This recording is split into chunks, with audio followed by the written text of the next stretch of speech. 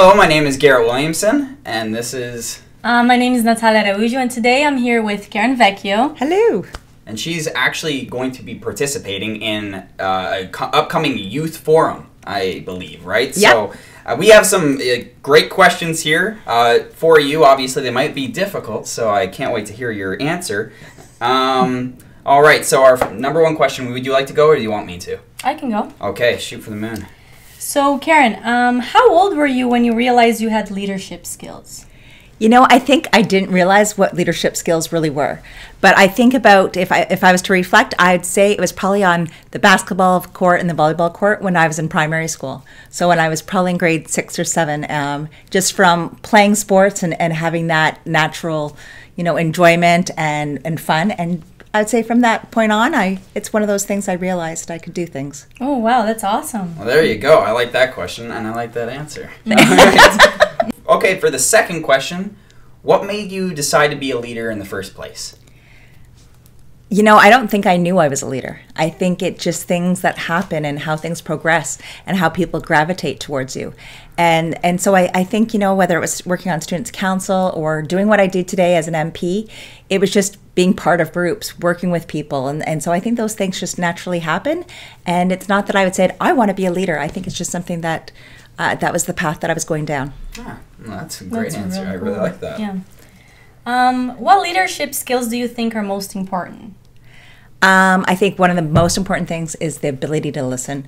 You have to, if, if we're working in a job, especially as an MP, I represent about 116,000 people across Elgin Middlesex London, and everybody has different views. And the ability to listen and, and to actually engage with people, I think that is something really, really important. A lot of times we, we don't engage. We will think, you know, either black and white or we already have our decisions made up. But I think that's the ability to critically think and, and listen to what other people are thinking is really, really important. Excellent, excellent. Um, when it comes to leadership advice, what do you have for for students? You know, first of all, find out what your passion is. And for me, I think my passion is people and my community. Those are what my passions are. And so, whatever you're doing, uh, you know, they, that old thing about finding what you do and make it a job, and then you'll never work a day in your life, it is true.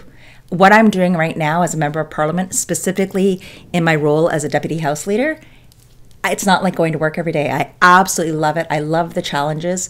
And yeah, you live and breathe being an MP, but I would just say find what you love and then you can succeed from that.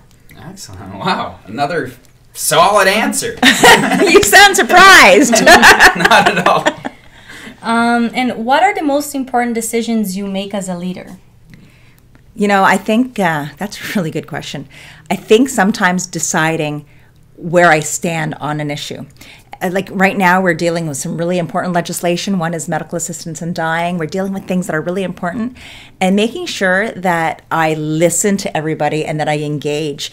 And so I think um, making sure that I'm taking that information and voting properly or engaging on the certain topics that are important to Canadians. I think that is is something that you have to do, and uh, that's what I really do focus on. Wow. That's wow. really awesome. And what sort of characteristics do you think every leader should possess? Um, there's a broad range. Like right now, if I'm looking as members of parliament, there's 338 members of it. Not one of us are exactly alike. We all have come to this as very, very in, d- different individuals. So I think um, that ability to work in a team. One of the most important things is you can't do it by yourself. You need to surround yourself with really good people as well. And so I look at what I do here. I bring so much, uh, so many things to the table that's different than what somebody else may bring.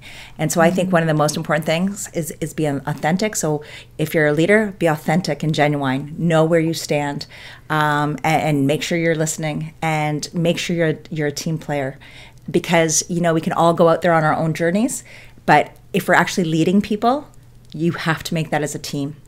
Uh, you know, there's not there's no I in team. Oh wow. Yeah, I know. There's an I in win though. but you know what? Yeah, I, those are phenomenal answers. Honestly, I think those will really help the youth and the students uh, for this. You know, just the upcoming future and just you know the entrepreneurs or the people that just Oh, yeah. are generally working. Like it's it's phenomenal, and I think that's some great advice. So thank yeah, you so, so much. thank you so much. Thank you guys. Of Love you both. All right. Have a good one, guys.